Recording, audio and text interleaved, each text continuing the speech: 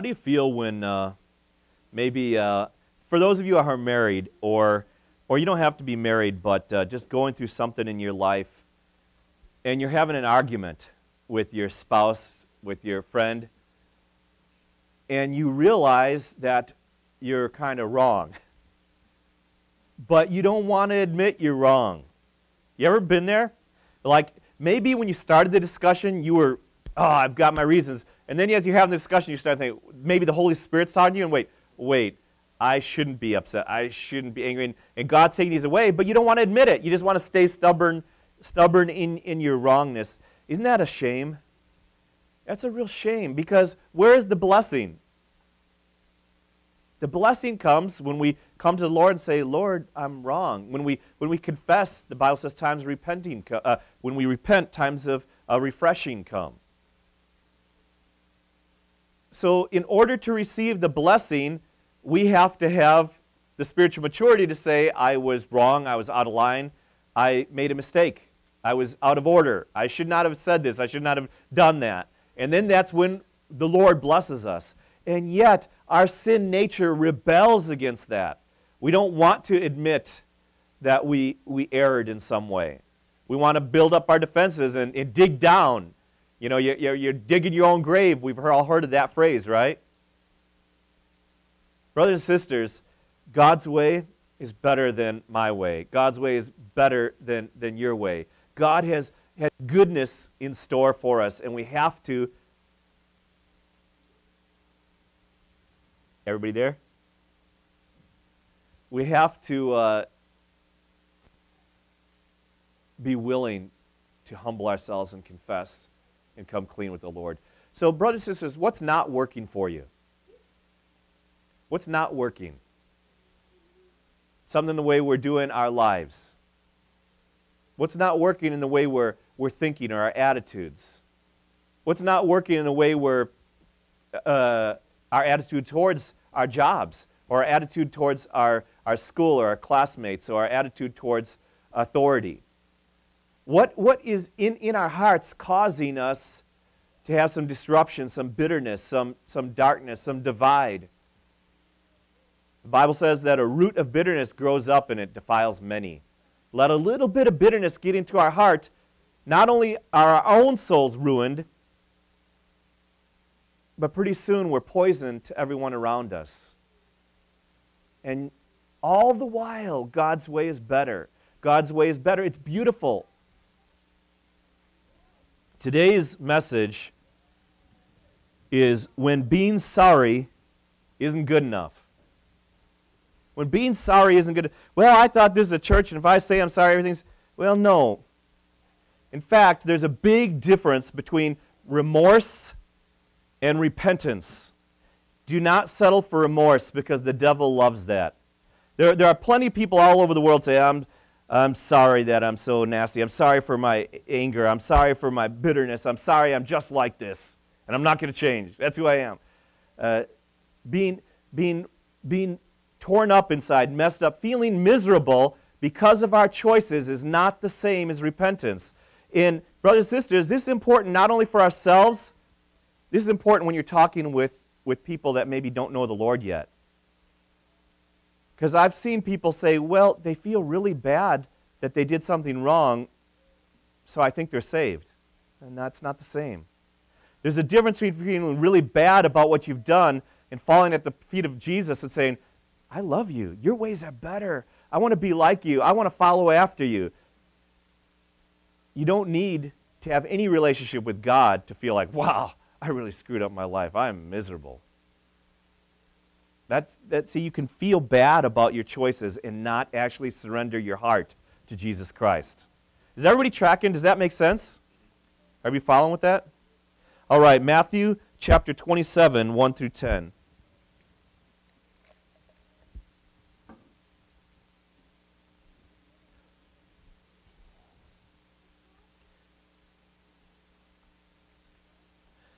There's a couple controversies in this passage, and I'm going to spend just a literally little time with them because I don't think they should be controversies and they're kind of a distraction. Uh, from verse 1. Everybody there? Matthew 27. Early in the morning, all the chief priests and the elders of the people came to the decision to put Jesus to death. They bound him, led him away, and handed him over to Pilate, the governor. Now, Pilate would normally be in Caesarea, but because of Passover, probably he's, uh, he's in Jerusalem to keep a, a close eye on everything to make sure there's not trouble. When Judas, who had betrayed him, saw that Jesus was condemned, he was seized with remorse and returned the 30 pieces of silver the chief priest, uh, to the chief priests and the elders. So Judas, maybe, uh, I don't know what he was thinking. There's a theory out there that there may be some truth to that Jesus was trying to force, uh, that Judas was trying to force Jesus' hand. He had seen the miracles that Jesus did. He wanted to push Jesus to declare an earthly kingdom or push Jesus to fight the Roman Empire. Uh, and so maybe he was trying to set up things. Uh, that's a possibility because when he sees that Jesus now is captured and facing the death penalty, now he's repented. He's, he's, I should say he's remorseful. I don't know if that theory is true or not. Some people really stand by it.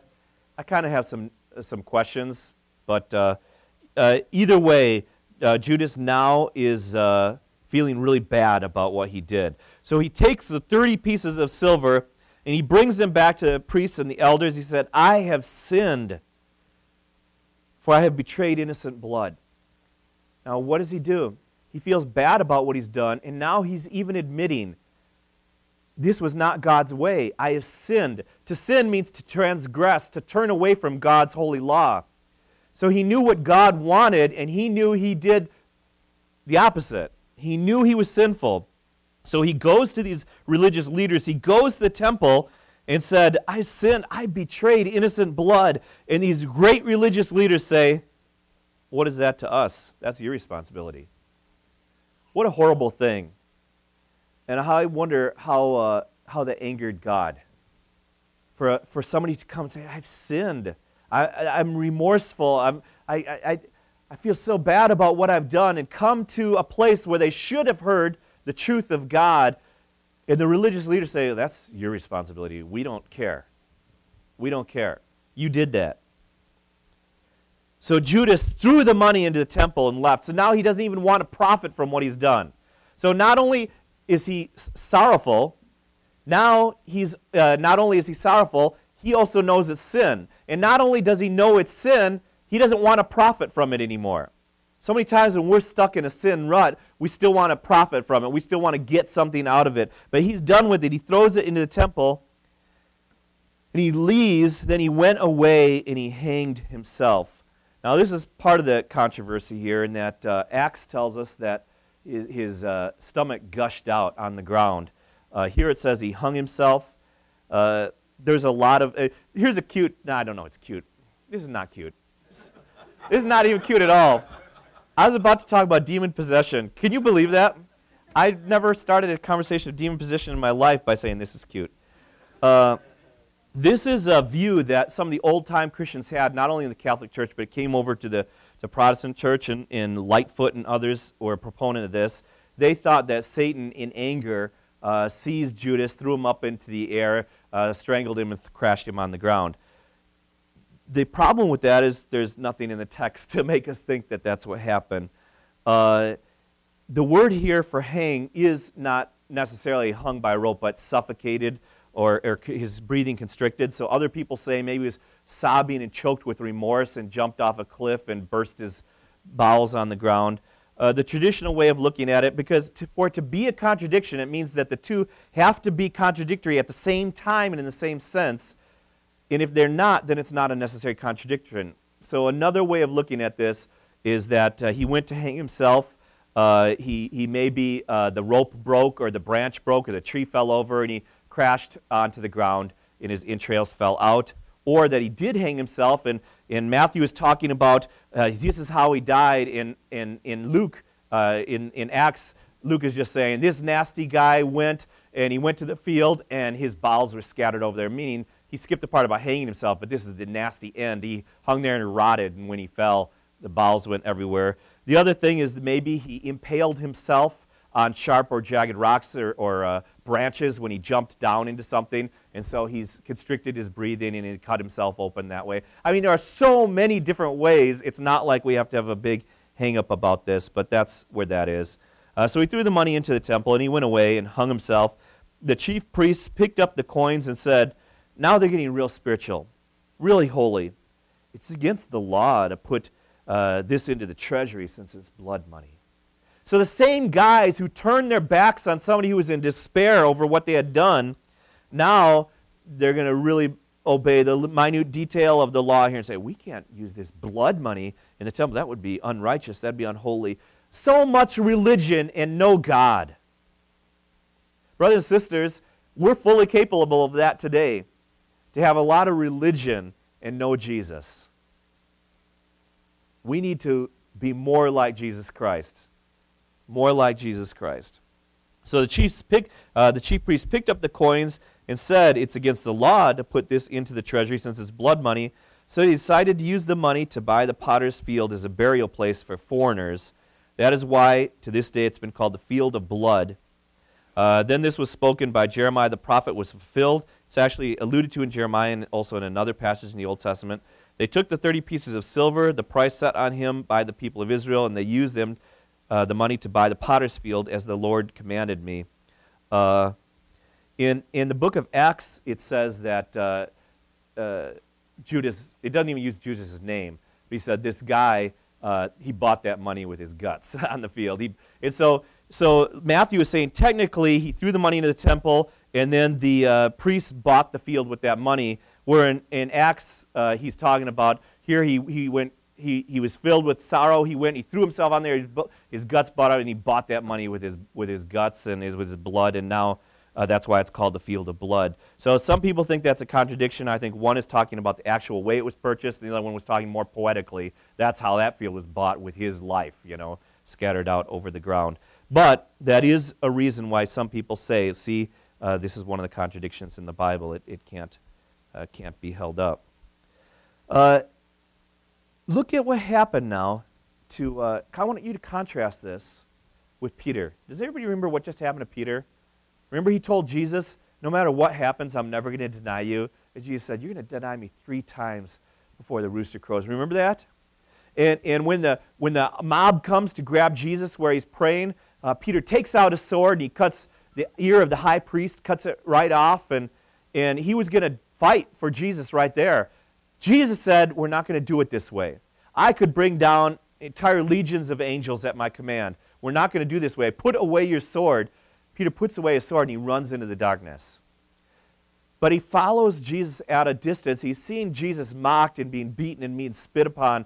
And, and he sees it, this, this fake trial that, that should not even be held. He, he goes there and he's watching this uh, fake trial. He's in the courtyard. A group of people have gathered. And as he's watching, warm himself by the fire at night, people start to come up to him and say, Wait, I can tell by your accent that you're not from Jerusalem. You're from Galilee, you're, you're one of the followers of Jesus, right? He says, No. Again, they come up to him, No, you're a follower of Jesus. We know it. And, and we've seen you with him. Finally, the third time, he, he starts call, calling down curses. He's swearing, I do not know this man. And the rooster crows, and it just hits him. I betrayed the man who loves me most. I betrayed the man who's invested his life into me. And he runs away, and he's so overwhelmed. He falls down the ground, he weeps bitter tears, just bitter tears. His whole soul, he's aching, he's filled with sorrow. He, he feels an utter despair. Well, after the resurrection, Jesus Christ comes, and the Bible tells us that he spoke specifically to Peter. It doesn't tell us what he said uh, in its entirety. Isn't that beautiful? Instead, he reinstates Paul, Peter. He tells him that I want you to be a shepherd of my people, uh, feed my sheep, and and he said, Jesus says, Do you love me? Peter said, I love you. He asked me a second time, Do you love me? He asked him three times so that he could three times say, I love you, I love you. Third time he says, You know I love you. You know my heart. Do, do I love you? You know? And, and Jesus gives him a purpose and mission. He reinstates him. Look at the difference. Judas ran away. He ran into darkness and killed himself. Peter ran away, and when the Lord reached out to him, he responded. He responded. Have you ever messed up? Are you going to keep running or are you going to turn to Jesus? There's such a world of difference. Both ways people have tears, right? Both ways people are just sick of what they did. But this way leads to darkness. Oh, I'm such a miserable person. I'm, I'm so bad. And, and it's just you beat yourself and beat yourself and, and you kill yourself mentally, spiritually, uh, sometimes physically. It's just utter despair and darkness and never, never turning your eyes to the cross. Jesus Christ already paid for all that sin. Over here is, is an honest appraisal of myself. I messed up. I should not have said what I said. I should not have done what I did. I should not even had these thoughts. And I'm not going to defend them anymore. Lord, I need forgiveness. Lord, I need that grace. I need what you did for me on the cross. Jesus loves you. Are you going to take the grace? Jesus died for your sin. Are you going to take the forgiveness? I'm getting worked up. Settle down.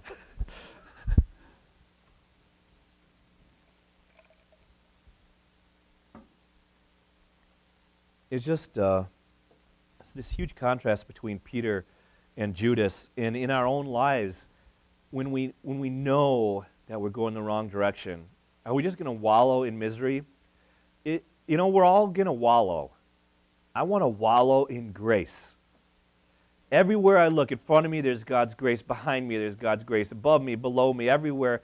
And yeah, I'm a sinner. Yes, I messed up. Yes, and, and Jesus Christ loves me anyways. And I'm going to get back up, and I want to live for Him. I don't want to live in that, in that uh, anger, in that bitterness, in that filth anymore, because His ways are better than my ways. And, and, and everything about Him is good and beautiful, and I can't say the same for myself. So I want to follow after him. And I've got grace all around me. And the alternative is either you're going to feel anger and bitterness toward yourself and beat yourself up all the time, and I'm such a bad person, I never get anything right, what's wrong with me? Or you're going to be very, very skilled at being self righteous. You're going to find yourself a perch so you can look down at all the other, at the other, well, not all the other because you're up here, but those people down there that are sinners and you're going to insulate yourself from, from the truth. And you're going to make an excuse and a justification for every wrong, hard hearted attitude that we have. And those are the only two options when we turn our back to the light. When we turn away from Jesus Christ, we run into the darkness and we end up with our guts being spilled all over the field, figuratively speaking. Those are the two options. Uh, that is, that's messed up. That is really messed up. And the sad thing is, is we have such a loving God. He's caused God, listen, God wants to forgive you. Wait, you don't understand, Pastor. I did the same thing again. No, you don't understand. Jesus said that we should forgive again and again and again. If the person keeps coming to you and asking for forgiveness, Jesus said, you forgive them. Guess what? Guess what? God's that actually God's the one who does it right. Exactly. When you've messed up and you don't want to tell God you're sorry and you don't want to turn your back on your sin, you don't want to, because I've did it before, I've did it before, that is not the Holy Spirit telling you don't go to Jesus. That's not the Holy Spirit saying, you don't want to confess the same thing again, do you? That's not the Holy Spirit who says, God's sick of you. That's not the Holy Spirit who says, you're such a screw up, it, ju- it just hurts too bad to see the light. Jesus is saying, Come to me. My burden is light. Come to me. I will forgive. God's offering us this beautiful fellowship and relationship with Him. And when we mess up, He's still there. And when we turn our backs on Him, He's still there. Let's turn to Jesus. Let's turn to Jesus and walk in that goodness and in that beauty and in that forgiveness. Walking in forgiveness is better than walking in condemnation. I don't know if I can prove that scientifically. I'm just saying it. Walking in forgiveness is better than walking in condemnation. Beat yourself up, mess yourself over, leap off a cliff and disembowel yourself. And that pleases nobody in heaven. Heaven doesn't look down and applaud. Heaven, the moment you turn back to Jesus, heaven rejoices again and again and again and again and again and again and you think, oh my goodness, I still need grace, get over yourself. You're always going to need grace until you die and are made perfect in heaven. You need grace. Now go and be a person of grace and start giving grace to the people around us, right? What a better world this would be if we had grace for one another. Forgiveness, mercy. I asked each of the people being baptized for a favorite verse, and Adam chose one of mine. Well, Adam actually was teasing me this week because he thinks I always have a favorite verse every week, and he's probably right. But uh, one of my many favorite verses, Adam chose Jeremiah 17 9 and 10. The heart is deceitful above all things and beyond cure. Who can understand it? When Jesus Christ gave his life for you and saved you, he gave you a new life. Our old self is messed up, it's destined for death. The old man, not going to be ch- saved. God gives us a new man, a new life. And in verse 10, I, the Lord, search the heart and examine the mind to reward a man according to his conduct, uh, conduct according to what his deeds deserve. The heart is deceitful above all things. The Disney film that's always telling you just follow your heart, the guy who's just saying we got to make a gut decision, they are contradicting the living, holy word of God. Okay? My gut leads me to some bad decisions. Ugh! I just got to follow, I got to be true to myself. No, you don't. You know that part of you that loves Jesus? How about you be true to that part instead of, uh, well, I just, I'm angry and I can't hold it in. I have to be honest and I have to just bring hell into the lives of everybody around me. But wait, there's a part of me that wants to bring heaven into the lives of people around me. I'm going to be true to that part of myself. See, it's not being a hypocrite. It, you think you're being a hypocrite or you think you're just holding it in when you don't make life miserable for everybody? Well, if both parts of our heart are true, why don't we follow the light? I'm, that makes sense to me. I don't always do it, it makes sense to me. Does that make sense to everybody? Some people doesn't make sense? Yes, it makes sense? Yeah, thank you. Let's, let's follow what Jesus Christ has for us. Let's follow the light. Repent, not just feel bad about ourselves or, or admit we make bad choices. You, you ever see people say that? Uh, yeah, I'm an alcoholic, but just just the way I am. Or yeah, I fight, but that's because of the way I was raised. Or or yeah, I'm I'm bitter, but I can't help. That's you're, admitting your bad choices, but that's not the same repentance. Repentance, remember, is like that U-turn. Like I'm I'm I wanted to go to Chicago, but I'm on the road to Madison. Repentance means I got to turn around. It doesn't help for me to be driving and say, "Oh, I'm such a screw up. I just hate myself for driving the wrong direction. What is wrong with me driving the wrong direction?" There's an off road there, and oh yeah, go go past. Oh, there was another off road problem there. Oh yeah, I just I'm so nasty. I'm going all the way. You know, I want to be in Chicago, but I'm going to Madison. Repentance means saying, God, your ways are right, my ways are wrong, and by your grace, I want to follow you as best I can. When I stumble, I've got your grace, but I see that off ramp, and I'm going to take it. I'm going to take the off ramp because I don't want to go to Madison. Sorry, everybody from Madison. Beautiful town.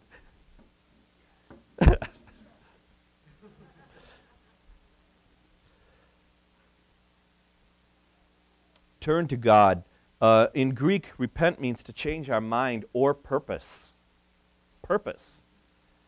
What was my purpose in life? To feed my flesh. What my, my purpose in life? Well, I'm going to wallow in how, how I've messed up. What's my purpose in life? Well, I just have to make myself number one. What's my purpose? Repent!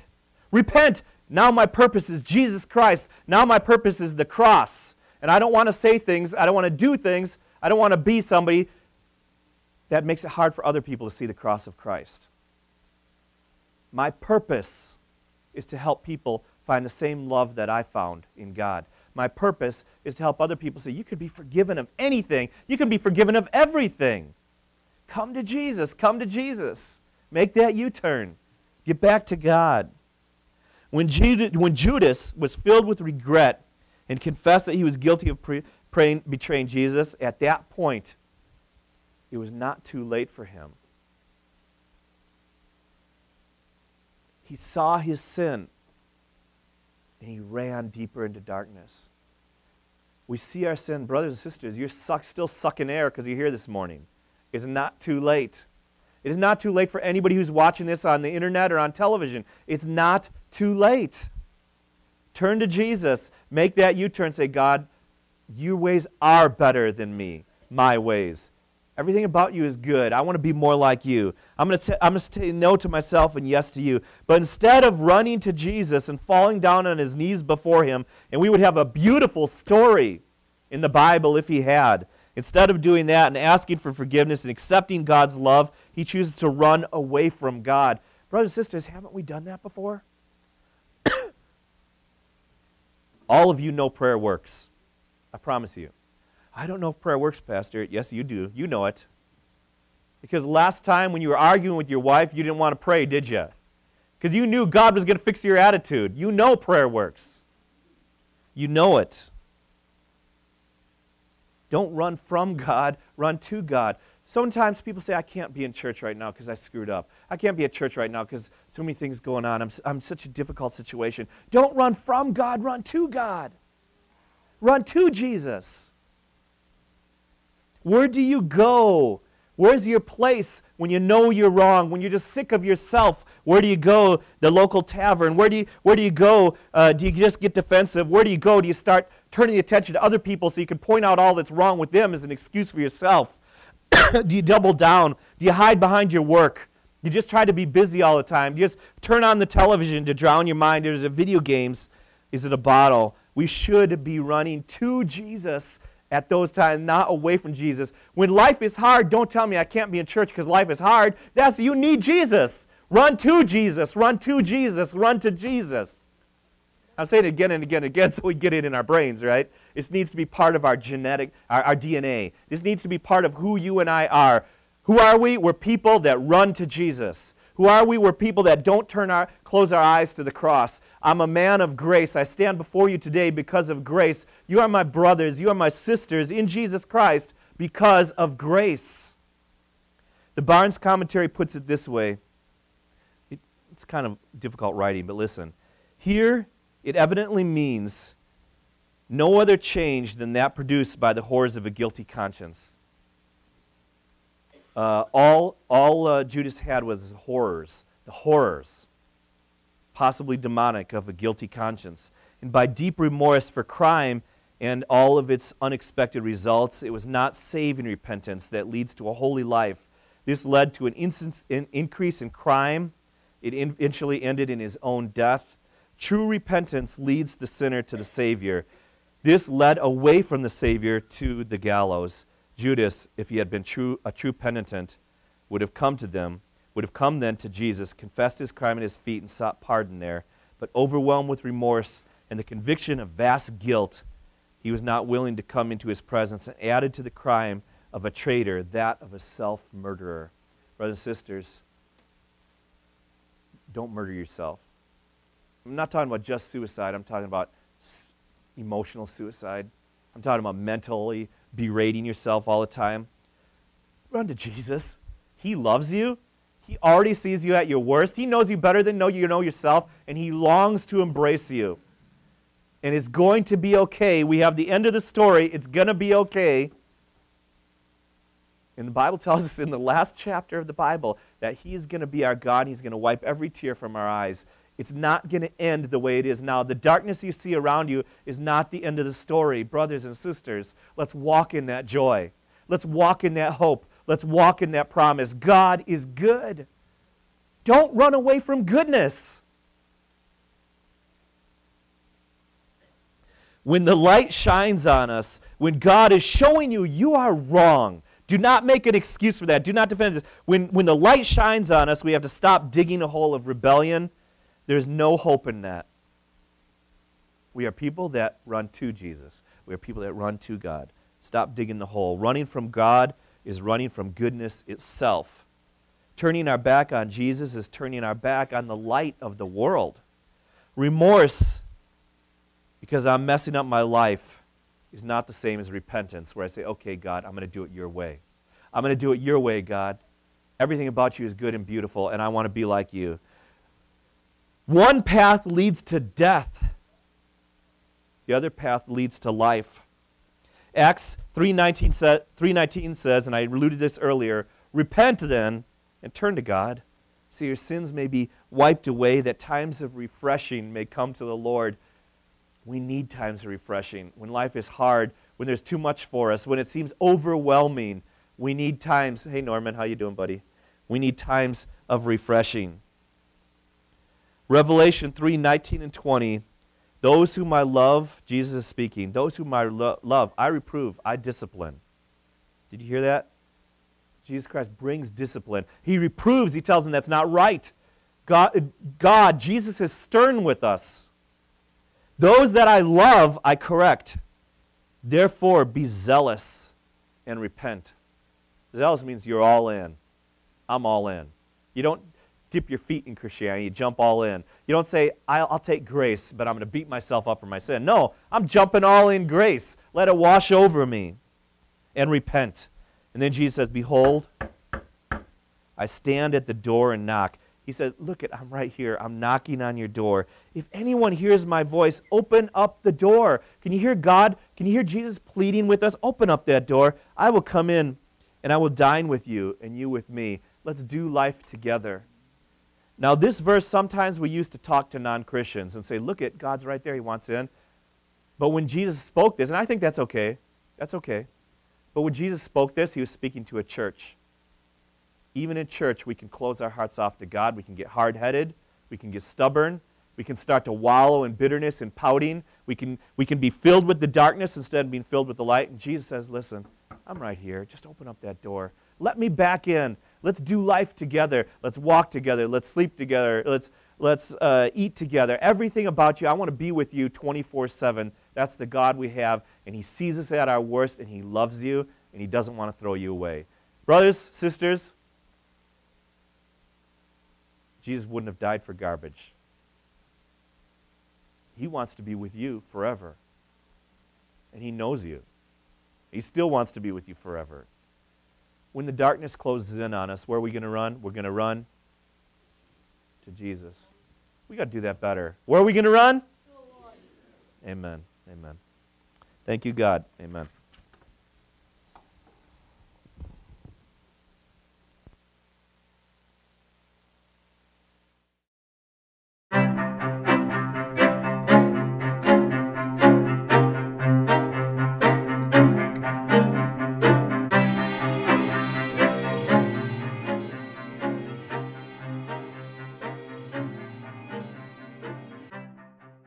Foundation Bible Church, inconveniently located two blocks northwest of the Janesville Athletic Club.